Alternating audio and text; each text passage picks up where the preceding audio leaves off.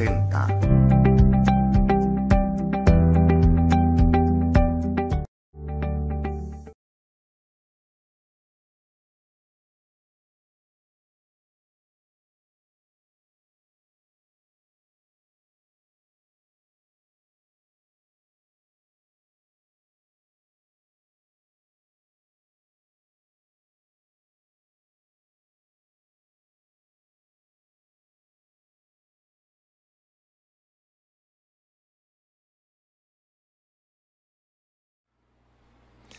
¿Qué tal amigos? Muy buenas noches. Gracias por estar una vez más aquí en la Agenda en Red. Estamos de vuelta en casa aquí en TV Hispana y les agradezco muchísimo que nos acompañen a mi amigo Gonzalo Ruiz que hoy por la noche pues le pedí que me hiciera el favor de estar de nueva cuenta en esta, en esta transmisión como lo hacíamos en el pasado. ¿Te acuerdas, Chalo? Sí, sí, al contrario, Humberto, muchas gracias por invitarme a colaborar aquí en tu prestigiado programa La Agenda en Red y aquí en nuestra casa, TV Hispana, pues es un verdadero gusto volver a estar contigo, volver a estar en TV Hispana y sobre todo estar con ustedes. Amable auditorio, muchas gracias por brindarnos algo, algo tan especial y valioso en su vida como es su tiempo. Mucho, me gusta mucho mi hermano cómo habla, sobre todo cómo comparte con ustedes esta transmisión y gracias de verdad, Chalo, por acompañarme como siempre en esto que hemos hecho ya tiene varios, varios años y ahora volvimos otra vez, nos separó un poco la pandemia, pero ya estamos en el estudio cuidándonos con todas, con todo lo que debemos de hacer para no tratar de contagiarnos. Aquí nada más en este estudio hay una persona que es el que está dirigiéndonos aquí las cámaras, haciendo la transmisión y Gonzalo Ruiz y un servidor. Así que nos estamos cuidando bastante, tenemos la sana distancia, dicen algunos, pero bueno, falta un poquito más, pero ahí estamos si no, no cabemos, no entramos en las cámaras. Amigos, bueno, gracias de verdad y vamos a platicar con ustedes de un tema que creo que es importante. El tema que hoy le traemos a todos ustedes es el tema de las famosas carpetas de investigación que está haciendo la Fiscalía General del Estado de Tabasco sobre lo que pasó en el sexenio anterior en donde muchísimos funcionarios, ahora exfuncionarios, bueno, hicieron y saquearon al Estado de Tabasco.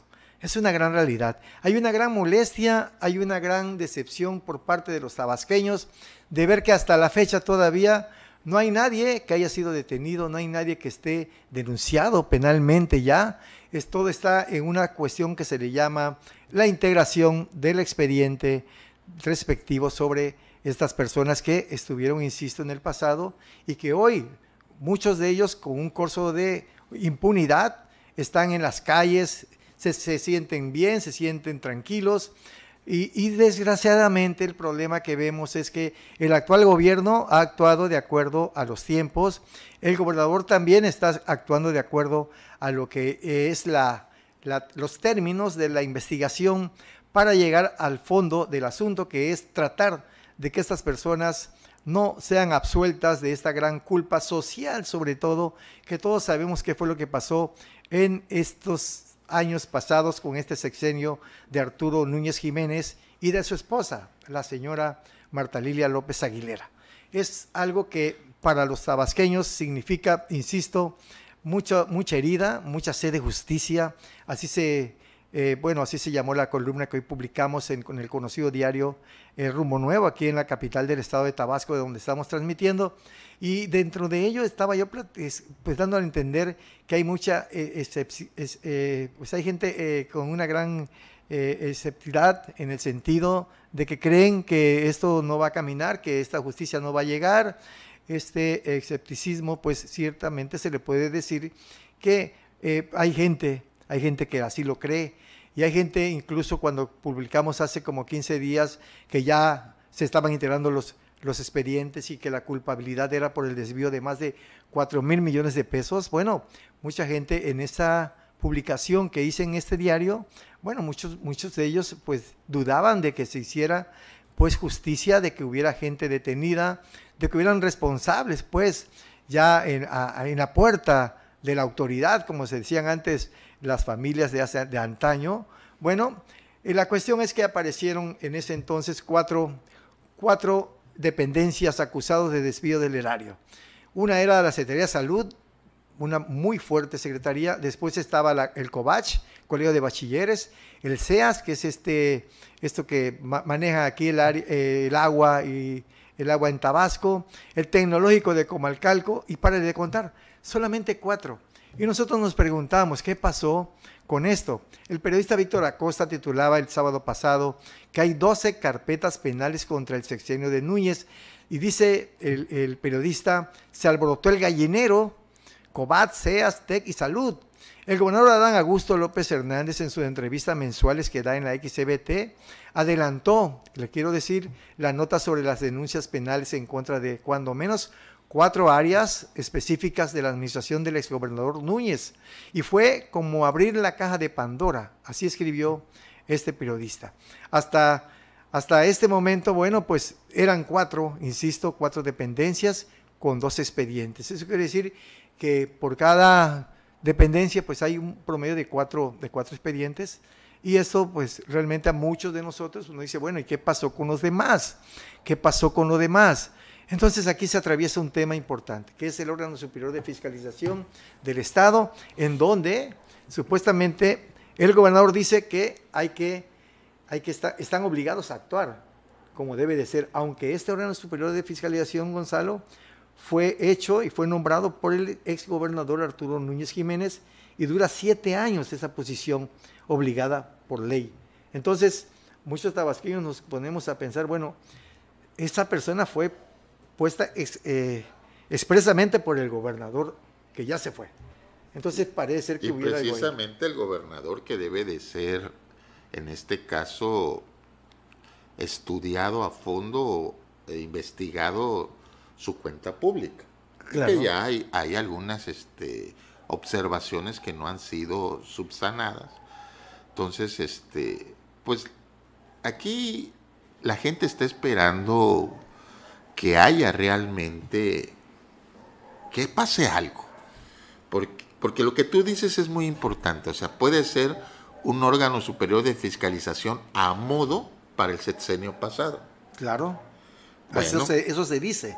Eso se piensa, eso se siente. ¿Por qué? Porque pues no hay, no hay avance, aunque acaban de dar a conocer que ya hay 12 denuncias. Exacto. Pero bueno, 12 denuncias para un boquete financiero, como dijo el gobernador Adán Augusto. Inicialmente hablaba de 4 mil millones, después habló de 6 mil millones. Entonces no es nada, no es cualquier cosa. Claro. Es algo que debe de, de haber consecuencias y ya la gente no se conforma con que se presente una denuncia, se le someta a un juicio, mucho menos que pase lo que pasó con Andrés Dranier, de que lo tuvieron detenido, igual que a su secretario de Finanzas. Los, los dos estuvieron presos, pero al final usted perdone, usted disculpe, no le lograron comprobar nada y salvo ese tiempo que pasaron en prisión, no hay una sanción a lo que hicieron durante su gobierno. Exacto, no hay nadie detenido. El pueblo de Tabasco no solo quiere cárcel para los saqueadores, sino también que se devuelva lo robado. Eso es lo importante, creo yo, que ese es el tema para un para en forma personal, yo creo que a mí me gustaría, me encantaría pues que, que todo lo que se llevaron y lo que deben de estar en algunas islas vírgenes, en esos paraísos fiscales por allá guardado, pues lo lograron recuperar se lograra devolver al erario, porque el Estado está pasando con problemas financieros fuertes, sobre todo la economía por la pandemia, y tenemos que tolerar que estas personas, insisto, pues caminen por España, por la capital, pues por otras ciudades importantes, sin, el menor, este, sin ninguna preocupación, pues, Gonzalo. Eh, no sé por qué razón hemos llegado hasta esa hasta, esa, hasta ese grado de tener que, hay veces, observarlos con un curso de poder, de impunidad.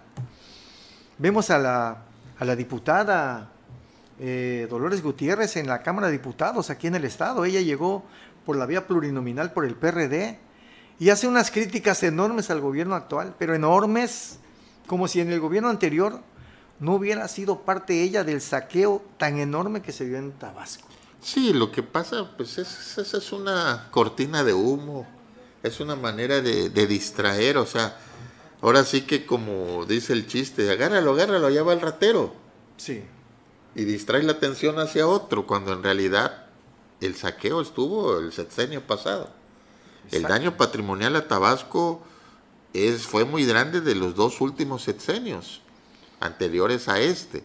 Entonces, por mucho que este gobierno esté haciendo las cosas bien y esté trabajando para lograr sacar a Tabasco del rezago, eh, el boquete financiero termina perjudicando. O sea, fíjate que con Arturo Núñez el decrecimiento económico llegó a menos 12.6.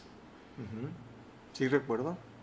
Ni ahorita en plena pandemia estamos en esa situación. Para que veas, para que vea usted y se acuerde usted de qué tamaño fue el boquete financiero y los resultados de ese boquete financiero que el Estado se cayó totalmente.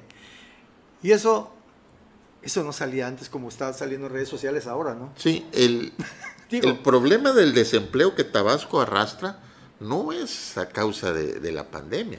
este es un problema añejo. Desde el 2013, cuando... Cuando toma posesión Arturo Núñez y, entra la reforma energética. que nos iba a salvar, pero realmente fue un fraude. Aquí acabó el Estado con esa reforma energética.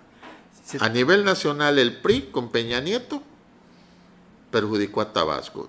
Y el PRD con el gobierno de Arturo Núñez perjudica a Tabasco. Sumados, pues encontramos a Tabasco en un desastre total. O sea, fue un desgobierno lo que hubo para Tabasco del 2013 al 2018. Y el problema que estamos viendo aquí en Tabasco ahora, debido a esto que estamos platicando, es que creo que el gobierno del estado tiene ya, tiene mucho que ver ahora para tratar de despegarse ese, esa, esa, ese, esa complicidad que, que dicen los que no quieren este gobierno ni a López Obrador, que existe entre el gobernador pasado y el gobernador presente, o sea, con Arturo Núñez Jiménez y con Adán Augusto López Hernández. Una complicidad que hay supuestamente para que no sea detenido ni no sea denunciado. Y creo que ahí hay una grave confusión, porque los tiempos, insisto, que se están haciendo para integrar, definitivamente integrar estas carpetas de investigación en estas cuatro dependencias, pues yo creo que puede ser un arranque de lo que, de, lo que los tabasqueños todos esperamos que comience a hacerse la justicia que Tabasco le urge y que requiere para que esta impunidad que se ve hasta hoy todavía, pues ya termine y se castigue, pero se castigue en serio a aquellos que saquearon al estado de Tabasco. Los nombres ustedes ya lo saben, los tienen perfectamente bien definidos. En todas las dependencias hubo problemas financieros, hubo desviación de recursos, en todos lados, por todos lados. Y alguna vez lo hemos platicado aquí con ustedes. Se dice que los legisladores locales, los de aquí de Tabasco, dicen que no pueden hacer una, eh, una revisión que le permita poder checar perfectamente bien en los lugares neurales, en los lugares importantes en donde la obra pública se nota que fue mal hecha y que hubo problemas, que no lo pueden hacer porque la misma ah, ley de este órgano superior de fiscalización del Estado no le permite a los diputados nada más que hacer un porcentaje, un porcentaje mínimo de revisión en todo lo que es la obra pública y también el ejercicio presupuestal es una mínima, es un 1%, 2% sobre un mundo de, obra pública y también de manejo de recursos. Pero esto que estamos viendo, creo yo que debería de modificarse legalmente, si así lo dice la ley. En ese sentido, yo, yo, yo creo que se debe de modificar esa ley fiscal y que realmente se amplíe más ese porcentaje tan pequeño de revisión de obra pública y también que permita a los eh, legisladores como una parte de esa ley en que si hay obra pública visible, criticada, que no la revisó el, revisó el órgano de fiscalización, eh, en ese momento eh, la Cámara de Diputados debe tener algo, una autoridad, una, una forma de poder llegar a esa obra, revisarla con los técnicos y de allí tomar una consideración en lo que se refiere a un dictamen que realmente a la gente se le informe qué pasó con esa obra, qué desvíos hubieron en esa obra y además qué corrupción imperó para haber hecho una obra de mediana calidad en lugar de haber hecho una obra tal como fue pagada. Así de simple.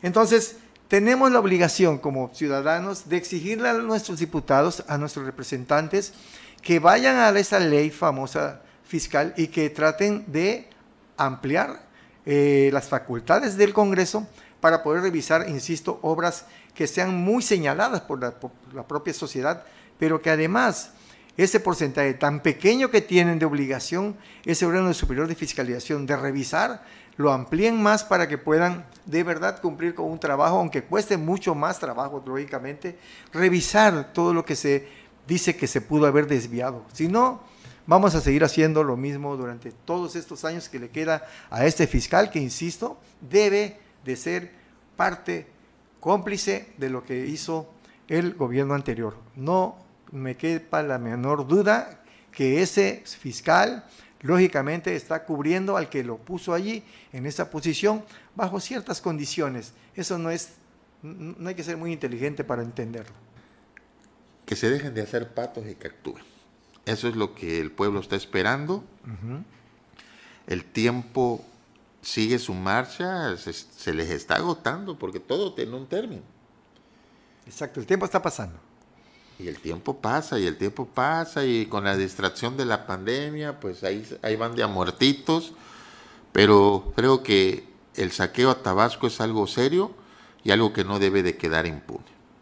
Muy bien. Hay suficiente evidencia, porque así lo han dado a conocer, desde que estaban en campaña, desde que fue un gobierno electo, desde que asumieron el gobierno en diferentes dependencias, el mismo gobernador han estado señalando el desfalco puntualmente. De hecho, esta unidad financiera que aquí en Tabasco la tiene o la encabeza Arturo Abreu Ayala, pues él siempre ha dicho que el dinero deja huella. No nos queda más que eso. Eh, amigos, creo que ya es tiempo de despedirnos. Ya se nos terminó la hora, prácticamente nos pasamos dos minutos, pero gracias por habernos acompañado. Si les gustó el programa, en el Facebook por favor, compártalo si gusta. Si está en YouTube con la Agenda en Red, por favor ahí también compártalo y suscríbase al canal de la Agenda en Red con su amigo Humberto y ahora Gonzalo en esta comunicación que vamos a tener permanente los martes a las 7 de la noche y los viernes a las 7 de la noche. Estás avisado, no le había comentado. Bueno, ya a las 7 de la noche nos vamos a ver el próximo viernes, primeramente Dios, y esperamos contar con ustedes una vez más aquí en la Agenda en Red con su amigo Humberto y Duarte, o mejor dicho, Gonzalo Ruiz y Humberto y Duarte. Gracias, hasta la próxima edición de este su programa que creo yo que podemos reencontrarnos de nueva cuenta. Por supuesto, por supuesto, y muchas gracias por su tiempo, gracias por brindarnos la atención. y aquí vamos a estar, martes y viernes. Hasta la próxima entonces, amigos, buenas noches. No se olvide de nosotros. viernes, 7 de la noche. TV Hispana presentó.